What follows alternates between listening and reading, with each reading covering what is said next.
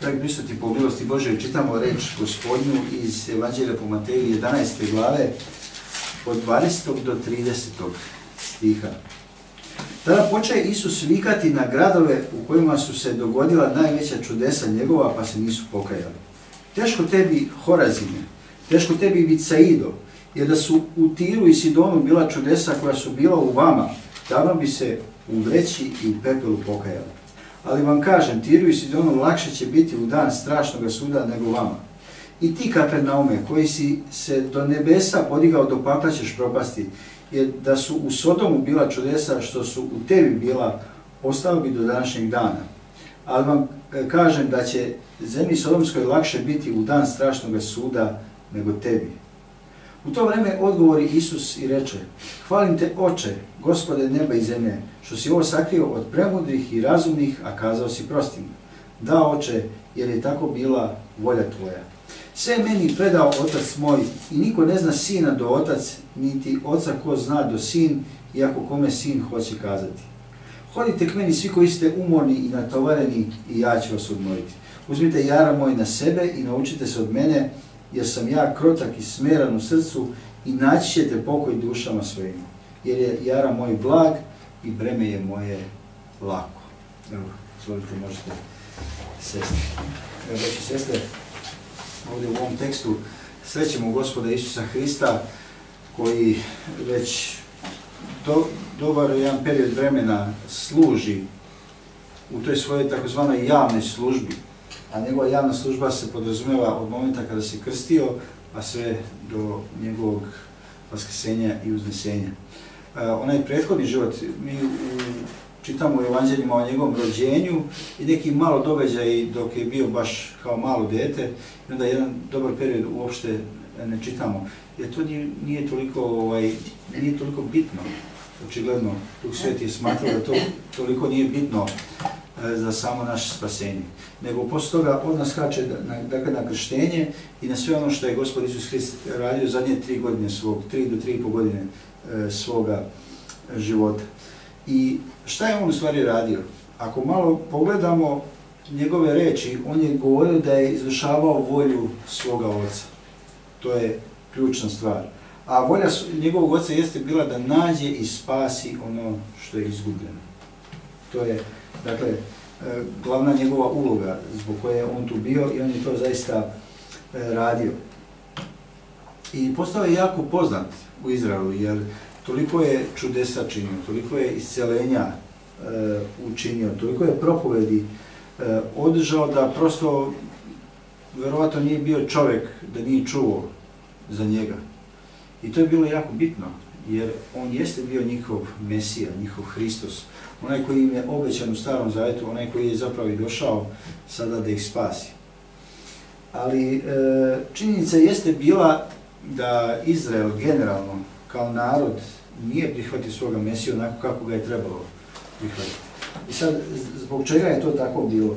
U nekim momentima se činilo i videlo se da ga mase slede ali njihovi motivi su često puta bili pogrešni. Ljudi su dolazili samo da bi se iscelili, samo da bi možda videli čudesa, neki nisu imali nikakve potrebe, samo su dolazili da ga gledaju, jel, šta se dešava.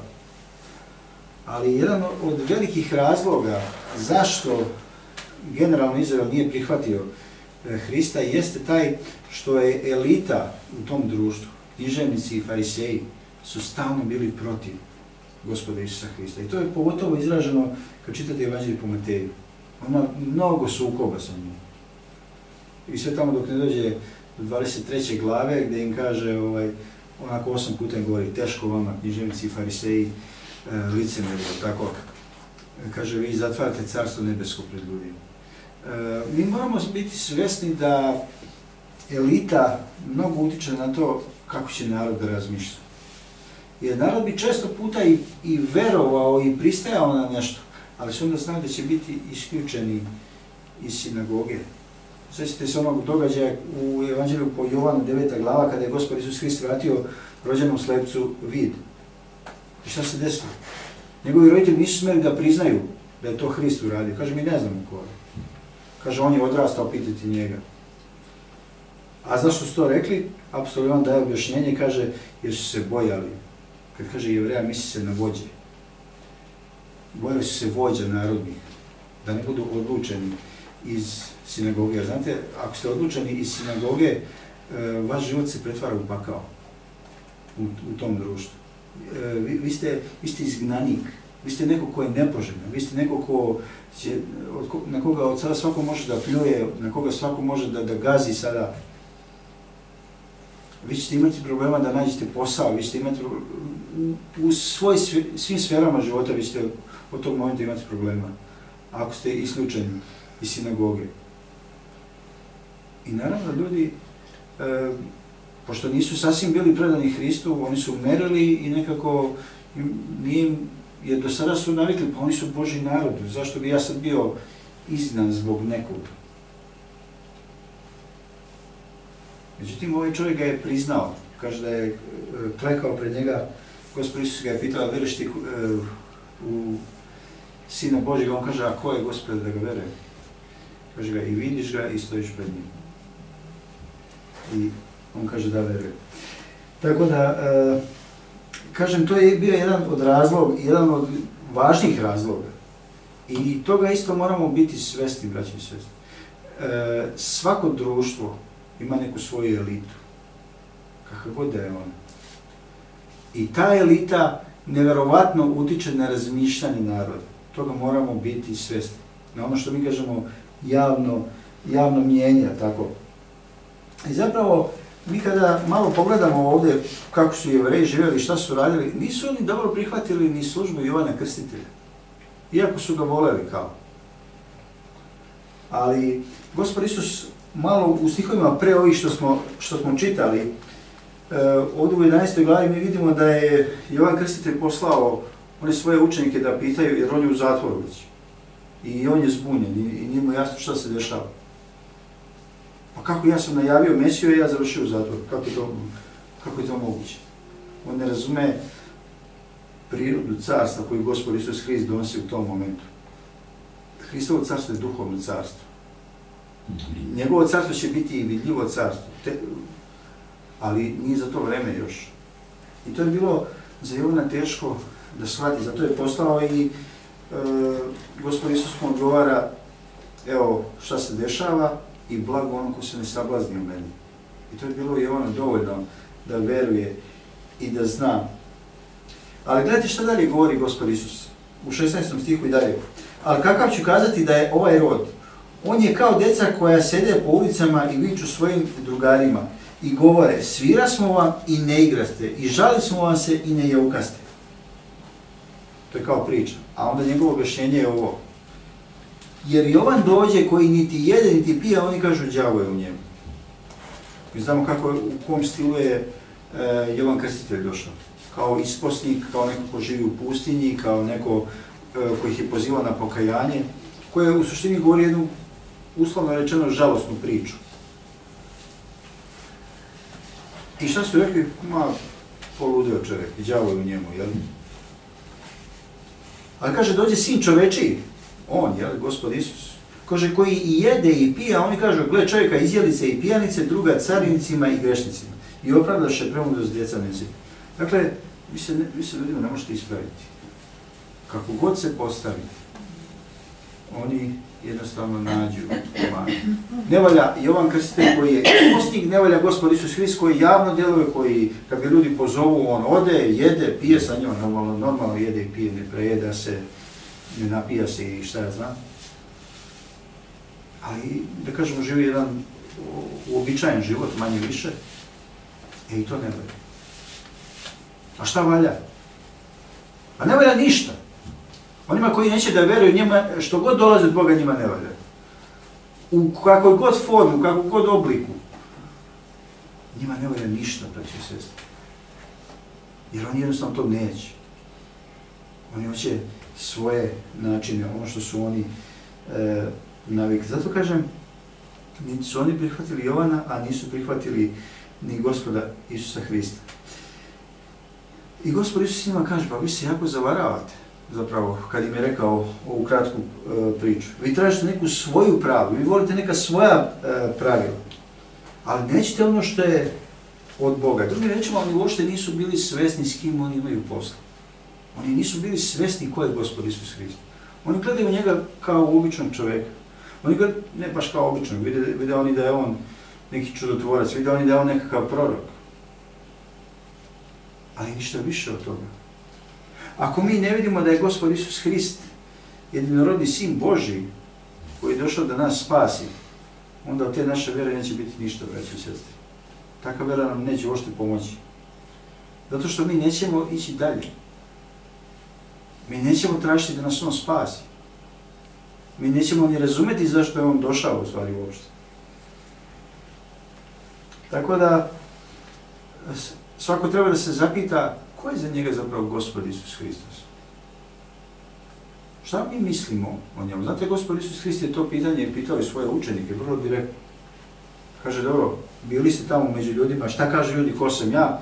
Jedni kažu da si Jeremija, jedni kažu da si Ilija, jedni kažu da si ovaj ili onaj prorok, dobro. A šta vi mislite? I onda Petar kaže, ti si Hristos, sin Boga živoga, pravi odgovor. Zato što je zaista verovao i zato je i imao e, pravi odgovor. Dakle, ko je za nas e, Gospod Isus Hrist? Kakav mi odnos imamo e, sa njim? To su jako bitne pitanja na koja mi moramo da odgovorimo, tako? Jer Hrist poziva, braće i sestre, nas na spasenje. I poziva nas da imamo taj odnos e, sa njim. I kako smo vidjeli malo kasnije, hodite k meni svi koji ste umorni, natovareni i ja ću vas odmoriti. Da, on može to da učini. Ali gledajte, on je, kažem, neke 3 do 3,5 godine javno delovao. Od prilike godinu i pol dana je proveo samo u Galileji. To je njegov rodni kraj. I tamo je išao uh, po, po selima, jer od sela do sela on je išao i propovedao je uh, carstvo Božije. Ali nekako se najviše zadržao u Kapernaumu.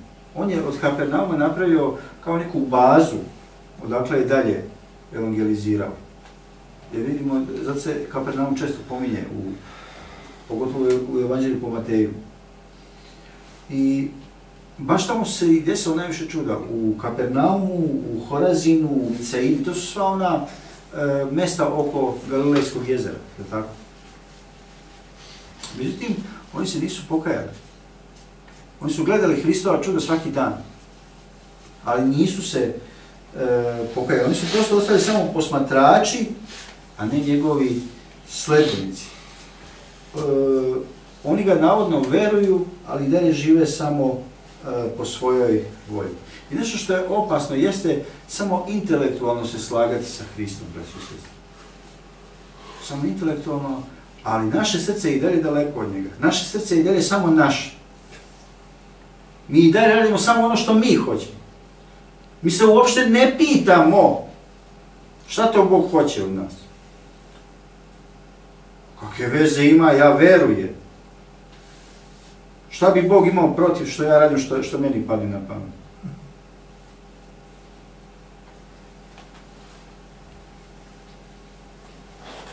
Kada slušamo reč Božiju, braći i sestri, ona bi trebala da nas pogađa, da nas vodi ka pokajanju, da nas vodi ka spasenju. I da, I da nas vodi ka tome da se složimo sa Bogom. Odnosno kako On nas vidi, da to bude i naš pogled na nas. A ne neki naš iskrivljeni pogled da mi Bogu namećemo. I kad malo bolje razmislimo, kako bi trebalo zapravo da dođe do spasanja? Čovjek bi trebao da čuje reč, kada čuje da je poveruje, da shvati da je grešnik, da, da moli Boga za oproštaj. I onda da dobije oproštaj. Ali onda, kada si ušao sada u novi život sa Hristom, da shvatiš šta sad i to znači. Da ne živiš više po onim nekim starim principima. U Hristu si. Ako veruješ. I to sve menja. Više nismo ni stari ljudi. Staro prođe, gle, sve novo nastade, kaže nam pismo. I onda kada smo u Hristu, kada nas Bog gleda kroz Hrista, sad treba u predanosti da služimo e, Bogu, tako.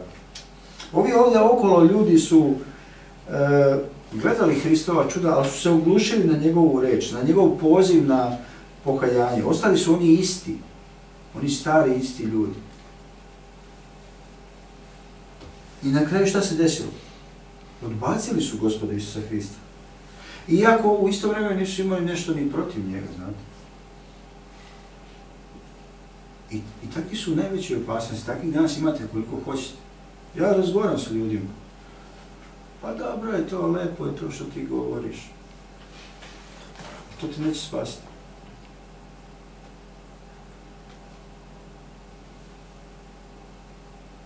Kad smo ovdje počeli sa crkvom, mnogi su nam zamerili ovdje okolo. Vi znate.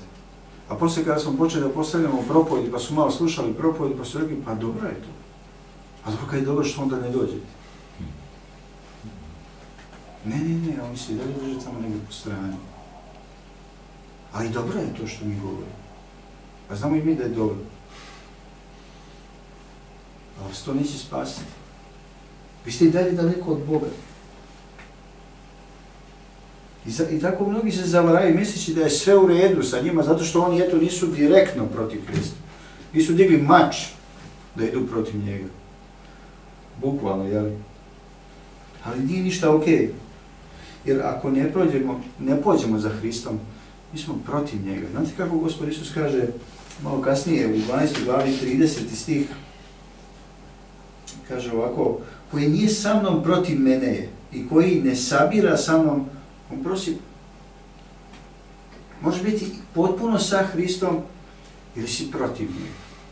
Ne postoji neki neutralni položaj, eto ja nisam ni za Hrista, ali nisam ni protiv, pa eto, on sigurno neće imati ništa protiv mene.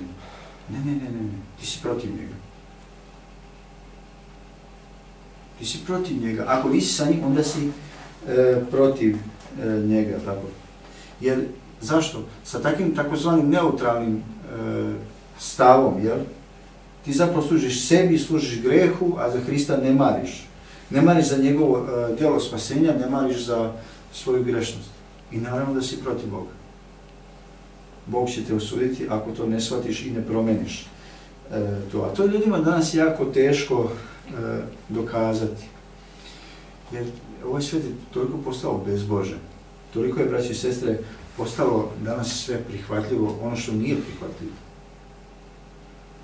I, I kako proglašavaju za dobro ono što nije dobro, ono što je zapravo grešno. I toliko su izbačeni oni hrišćanski principi koji su nekada možda i postojali u društvu, principi kao principi življenja. Ne znači da su hrišćani e, zaista. Ali znate, i kada se izbacuju ti hrišćanski principi, to nam to pravi problemi. To pravi probleme svima. Cijelom društvu to e, pravi probleme. Ubacuju se oni grešni principi, oni paganski e, principi. I ljudi postaju sve više zbunjeni. Ljudi ne shvataju zašto se to dešava.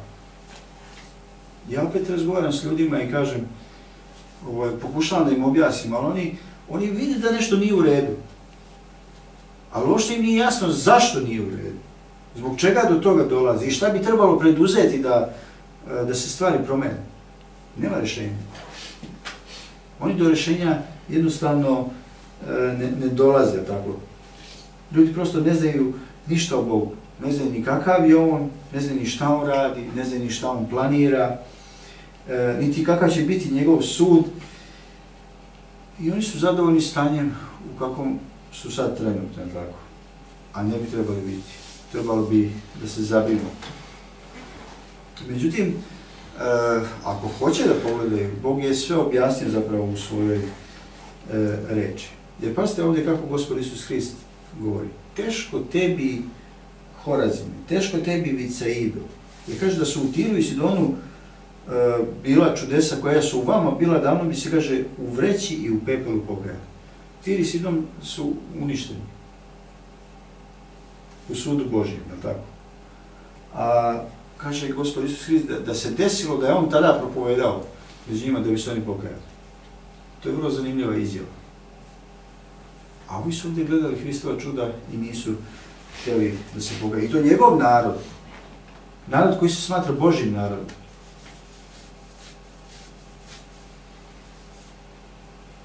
Kada ovdje Gospod Isus Hrist kaže teško tebi, to nije da on njima želi da oni propadnu.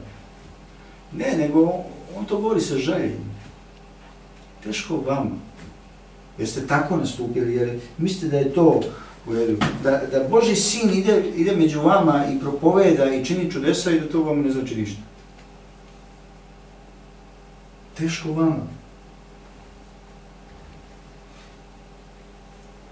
Ali zanimljivo je da ono što bi jednim ljudima pomoglo da budu spašeni, drugima ne znači to ništa.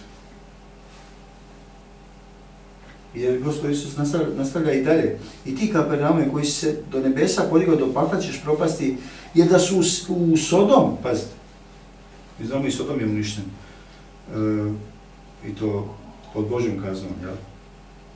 Jer da su u Sodomu bila čudesa što su u tebi bila, ostao bi, kaže, do današnjih dana. Ovo, ovo su zaista e, onako iznenađujuće izjave, da kažem. Jer e, Sodomljani su nevjerojatno grešili Bogu, ali da su vidjeli Hristova čuda, kaže, pokajali se. Ali ih nisu vidjeli, je tako? I sad zamislite, koliko čuda je Gospod Isus Hrist učinio. A to jednostavno e, nije vredelo. I ovdje vidimo e, isto tako da ta kazna koja će biti u paklu, neće biti svima isto, braći i sestri. Više će biti kaženi oni koji su više znali, ali su to odbacili. Sodomljani nisu videli Hrista. Činili su strašni greh i bili su kaženi. Ovime će biti još teže. Iako su možda manji bili grešnici u smislu onoga što su radili u životu, a su videli Hristova dela, a su ih odbacili, tako. I onda, Gospod Isus Hrist, znate, kada razmišljamo o Gospodu Isusu Hristu, o toj njegovoj e, službi, e, mi znamo da Gospod Isus Hrist je potpuni Bog, ali i potpuni čovjek. On je čovjek sa osjećanjima, isto kao što smo ja i ti. I njega je ovo povredilo. Jer on se toliko trudio, znate. Teško je to, kad se vi trudite oko nečega, i onda vidite da to neko ne mari uopšte. A pasite, to je za njihovo dobro bilo. Uopšte nisu marili. I šta Gospod Isus Hrist radi? On govori jednu molitvu ovdje. I ja sam uveren da on sebe ovom molitvom teši na neki način. Pazite šta on kaže. U to vrijeme odgovor Isus i reče, hvalim te oče, gospode neba i zemlje, što si ovo sakrio od premudrih i razumnih, a kazao si prostim. Da, oče, jer je tako bila volja tvoja. Kratka jedna molitva i, kažem, on se ovim teši. Kaže, tako je bila volja tvoja. Ja te hvalim, oče, gospode nebe i zemlje. Sakrio si, kaže, ovo od premudrih i razumnih, a pokazao si e, prostim. Jer, ponovo kažem, zamislimo sebe na mjestu gospoda Isusa Hrista. Vi ste došli nekoga da spasite, a taj koga ste vi došli da spasite, njega nije briga. Šta vi da radite u toj e, situaciji? Prosto ljudi ne shvataju e, svoju grešnost. Ne shvataju šta je to značilo e, kada su nam praroditelji pali u greh, do čega nas je to dovelo, da tako? Ljudi ne shvataju da oni svojim životom svaki dan vređaju Boga. Kroz misli, kroz reči, kroz dela. Da tako? Nisu marali da se pomire e, sa Bogom, a zanimljivo, Bog je taj koji je odlučio se pomiri sa ljudima. To je prosto nevjerovatno. I da Bog nije inicijator spasenja, ko bi bio spašen, braći i sestre? Niko. Mi nikad ne bi inicirali spasenje. Mi bismo uvijek živjeli po svojoj samovolji. Ali Gospod je taj koji je učinio nešto, pokrenuo nešto, e, da zaustavi tu našu samovolju, da, da bi nas e, spasio. I šta je to gospod učinio? On šalje svog jednorodnog sina, koji se utelovljava, koji umire na krstu Golgote da iskupi naše grehe, tako? Jer niko sam sebe ne može da spasi. Baš niko. Ali Gospod Isus, e, kada uzme naše grehe, On koji je bio savršeno jagnje Božje, koji uzima na sebe grehe svete, kaže pismo, On može da nas otkupi. Ljudi kažu, pa kako je to moguće da jedan može da otkupi grehe svih? Može, zato što je kroz jednog greh ušao u svet, a to je kroz Adam. Jedan Adam je sagrešio, a greh, greh je ušao u sve nas.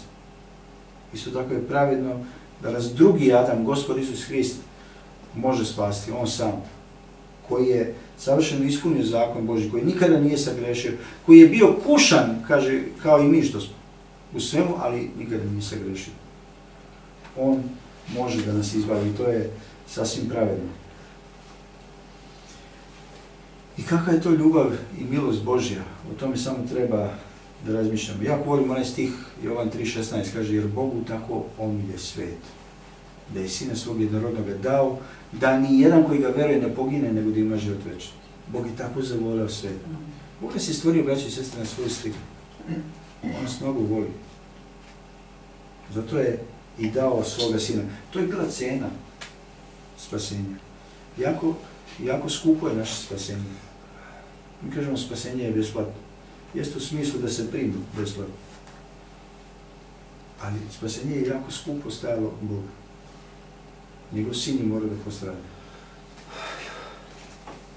I razmišljamo o tome.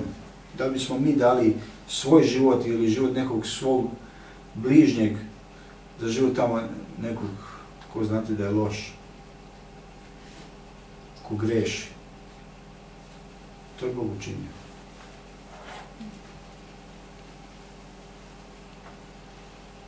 Znate, ovo nekim ljudima deluje toliko jednostavno i prosto da kažu, ma, to ne može biti istina.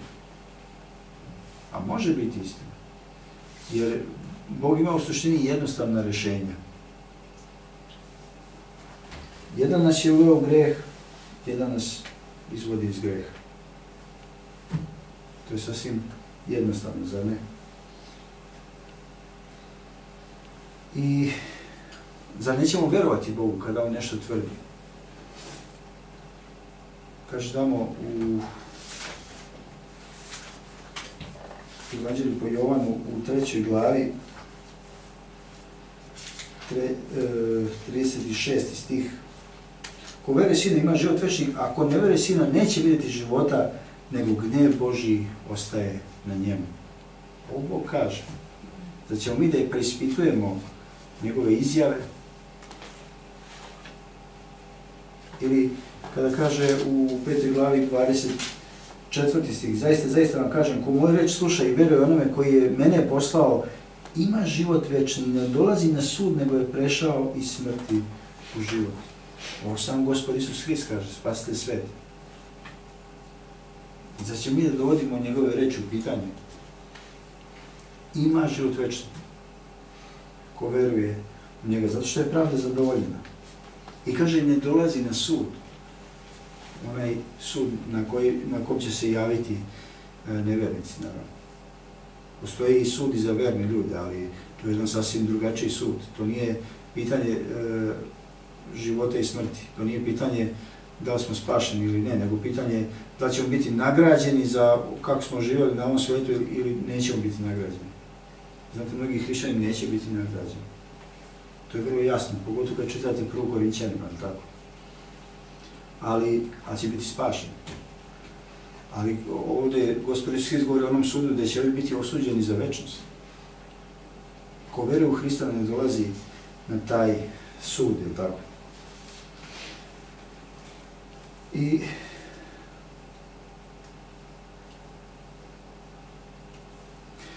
ali, znate, ljudi su takvi, ljudi ne žele da izgube nešto od svoga ugleda, od svoje udobnosti, od toga da budu prihvaćeni u ovome svetu e, danas, ne žele da odbaci nekakvu možda tradiciju u kojoj su porasli, u kojoj žive, koja im nekako godi. Ne, oni će radi odbaciti Hrista da bi zadržali ovo. Oni ne žele da budu odbačeni od sveta, da bi služili Bogu i da bi imali život večni. I to je ta najveća katastrofa koja se mnogima e, jednostavno dešava. E, Gospod Isus Hrist, kada gledate ovde, on je u nekom smislu bio usamljen. I znate, on njima govori, a oni ga jednostavno odbacuju.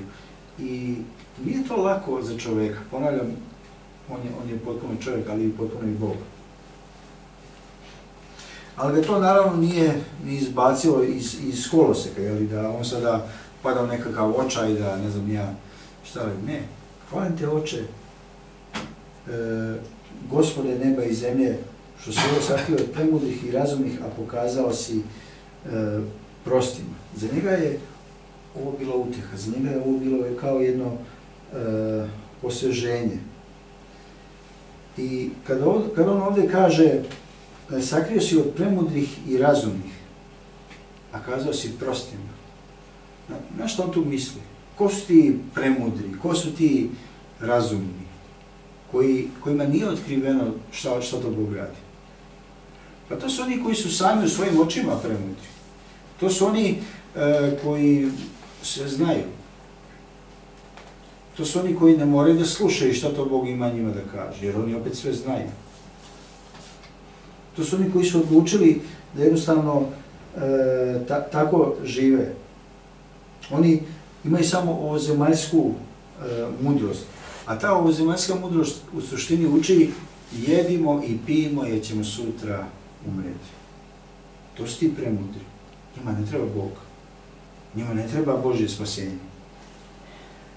Jer oni imaju svoju filozofiju života, jedimo, pijemo, sutra ćemo umreti, smrt je kraj, tu je, tu je svemu kraj, znači živi sada, e, što bi rekli ovide daske, jer to je sve čovjeku, jel? I smrt je najmoćnija, znate, kakav Bog, Bog je nemoćan. Je tako? Zar nije, zar nije to razmišljanje ovoga sveta? To je kraj, nema, nema, dalje nema, jel? E pa mi vidimo malo i dalje od toga. Zašto vidimo? Pa zato što Bog nam govori o tome. Onaj koji daje život. Onaj koji daje večni život. Onaj za koga smrt ne znači ništa. Smrt nije pobednik, smrt nije kraj. I Hrist je to pokazao kada je vaskrsao. On je pobedio smrt. Smrt neće više, kaže, ovladati nam. Ne može da ovlada. Ali čovjek mora da umre zbog greha. Ali to znači da je to kraj života. Druga je stvar što su ljudi umislili da je to tako. Druga je stvar što su se ljudi toliko navikli na smrt. A smrt nije prirodna stvar, kao što smo mi navikli se da i govorimo, jel? Že smrt je prirodna stvar, ne. Smrt je neprirodna stvar. Čovjek nikad nije trebao da umre. Ali sada mora zbog greha da umre. Ali, kao što je Hrist vaskrsao, tako će svi da vaskrsnu. Kao što Gospod Isus Hrist kaže, ide vreme i već je nastao kada će mrtvi u grobovima čuti glas Sina čovečega i čuvši oživjeti. I ustaće oni koji su činili dobro na vaskrsenje života i oni koji su činili zlo na vaskrsenje suda. On je taj koji će pozvati. Kao što je pozvao Lazara, pa je Lazar izašao. Kao što je pozvao uh, u Nainu onog uh, sina, one udovice. Kao što, kao što je pozvao uh, Jairo u kćer. I sva druga vaskrsenja koja su nam opisana, jel? A to je bilo vraćanje u život. Tako da, žalostno je to da ljudi smatraju da je Bog nemoćan. Kada dođe smrt, to je kraj. Za mnogi.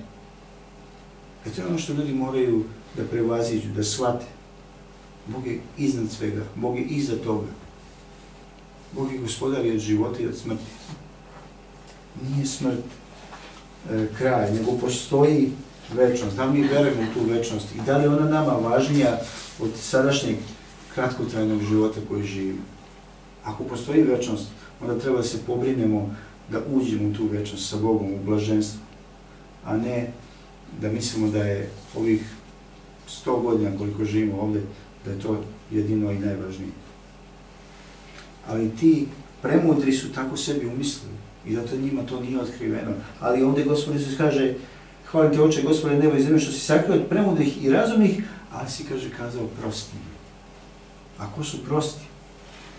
I to su oni koji su shvatili, braći i sestri, sve ovo što smo do sada govorili. Koji su shvatili ko je Gospod Isus Hrist, zašto je On došao, šta je On učinio za njih. Oni su shvatili da su krivi Bogu, da su pod Božim gnevom, da se sami ne mogu spasiti i zato su se predali Hristu, oslonili su se na njega, oslonili su se na to Božje spasenje, oslonili se da ih Hrist spasi.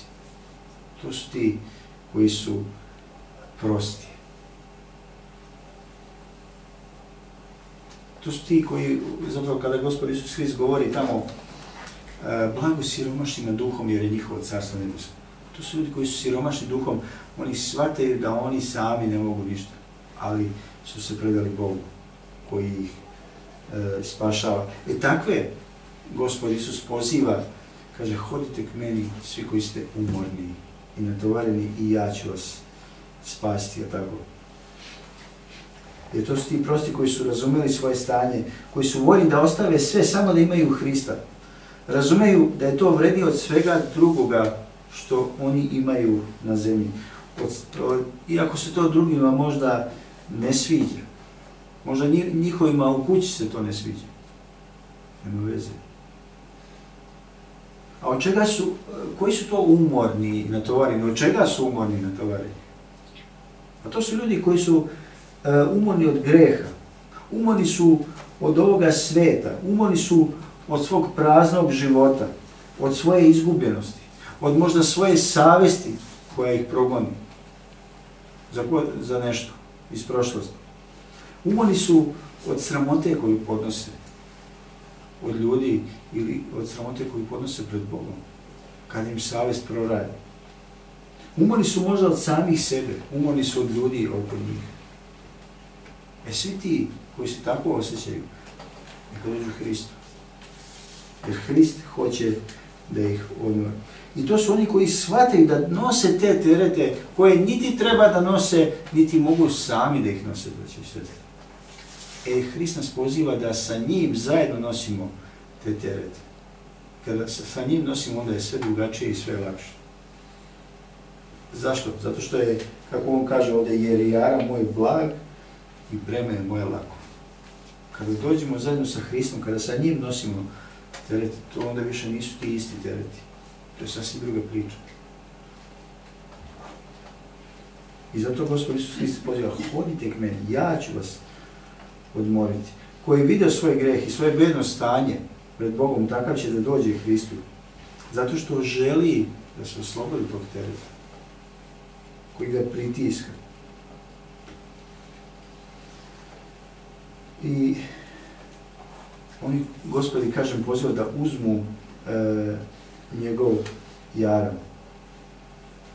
Da zajedno sa njim e, nose jednostavno sve i kaže Gospod Hrist, Gospod Isus, naučite se od mene.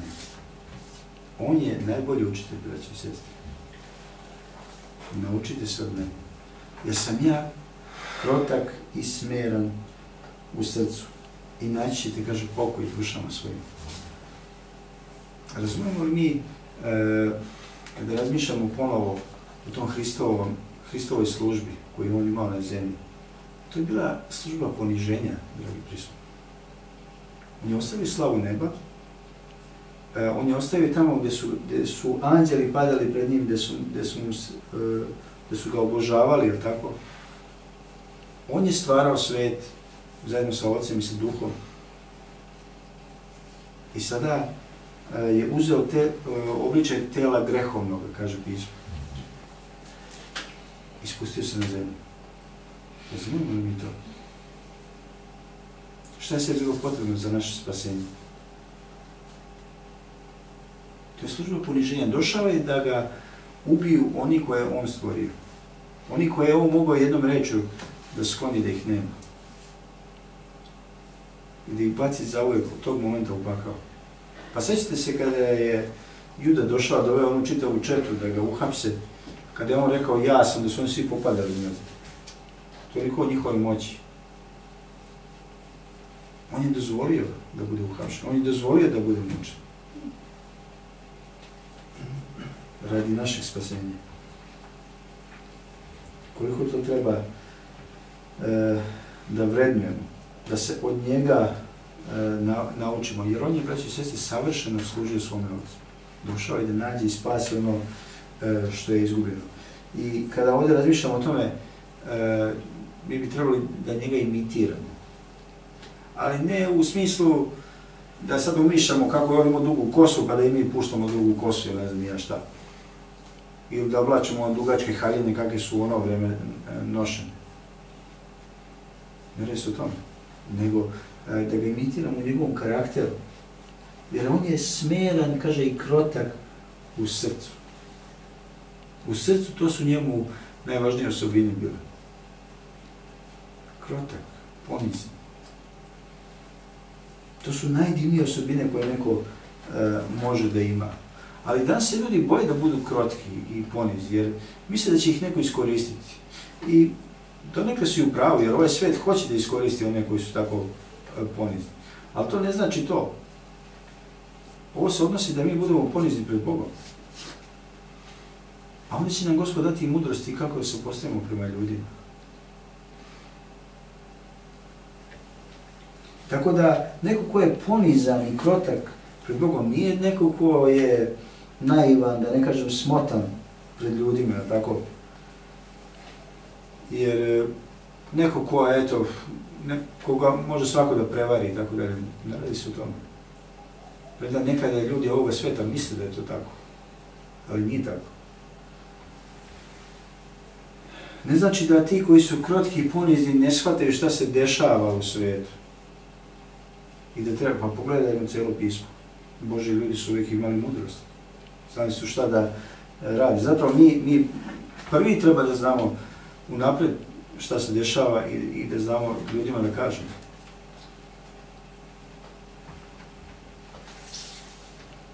Jer Bog nam daje mudrost prosto za sve e, situacije. To je taj novi život sa Bogom, gdje smo mi Boga svesni svakog momenta i svesni smo da je On jednostavno e, sa nama. I to je, to je vera u stvari. Vera je kada mi živimo sa Bogom i, i kada znamo se postavljati u svakoj situaciji. U posljednici je vreme u 11. glavi prvi stih, tamo kaže, vera je pak tvrdo čekanje onoga čemu se nadamo i dokazivanje onoga što ne vidimo. To je, to je vam je kao jedna definicija vere. Mi se ne, nečemu čvrstvom nadamo. Mi se nadamo drugom Hristovom dolaskom. Mi se nadamo njegovom carstvu. Mi se nadamo večnom životu koji nam je pomalo obećao. I tako mi dokazujemo ono što još nismo vidjeli. To što ljudi misle da, da, da to nije realno, to je njihov problem. A mi znamo da jeste. Jer to je nama obećao nelažni Bog. Bog ne može lagati. On je to obećao. Kao što smo malo pre e, čuli. Da pročitamo još jednom. E, Jovan 5, e, 24. Zaista, zaista vam kažem, ko moju reč sluša i veruje onome koji je mene poslao, šta? Ima život večni. I ne dolazi na sud, nego je prešao i smrti u život. Ja verujem gospodu Isusu Hristu. On je to rekao i to će se sigurno e, desiti. Tako da njemu treba da dođemo, na njega e, da se ugledamo, da uzmemo taj mir u Hristu, je tako? Ne da više lutamo, ne da ispunjavamo sebi nekakve e, želje, ne da tražimo mir tamo gdje ga nema. Nažalost, mnogi traže mir tamo gdje ga nema. Zato ljudi pokušavaju da nas svašta znate. Oni su potpuno konfuzni danas. Konfuzniji nego ikada. I onda idu, idu, pokušavaju na razne načine, dok totalno ne upropaste život. I onda kad se totalno upropaste, onda još, e, hajde da probamo i Hrista kao neku zadnju nadu. I onda se iznenade, koliko su trebali o tom prvo da razmišljaju i koliko su trebali to prvo da uzmu. A ono uopšte nisu trebali da pokušavaju. Nego su samo sebi upropastili život, upropastili godine. misleći da će ih ovo ili ono zadovoljiti, ali neće ih ništa zadovoljiti. Jer znate kako je opet gospod Isus rekao ženi Samarijanki, kogod pije od ove vode, opet će oženiti, ali ko pije od vode koju ću mu ja dati, neće oženiti nikada. Da li smo pili tu vodu koju Hrist daje? Da li smo dobili to spasenje, tu večnost koju On daje? Da li e, imamo Boga kao svoga gospoda, kao spasitelja koji zadovoljava našu dušu? Jer e, ništa ne može da zadovolji dušu nego Bog koji je stvorio. Sve drugo što ljudi teče je sami promašaj. Tako, neka nam zaista Gospod pomogne da niko ne bude ravnodušan prema Hristu i kao što smo malo prečitali, ako nisi sa njim, onda si protiv njega. Nemoj biti protiv njega. Budi sa njim, uzmi taj mir koji on daje dok on još poziva. Hodite k meni, svi koji ste umorni, natovareni, i ja ću vas odmoriti. Neka vas Gospod sve vodi e blagosila. Amém. Amém.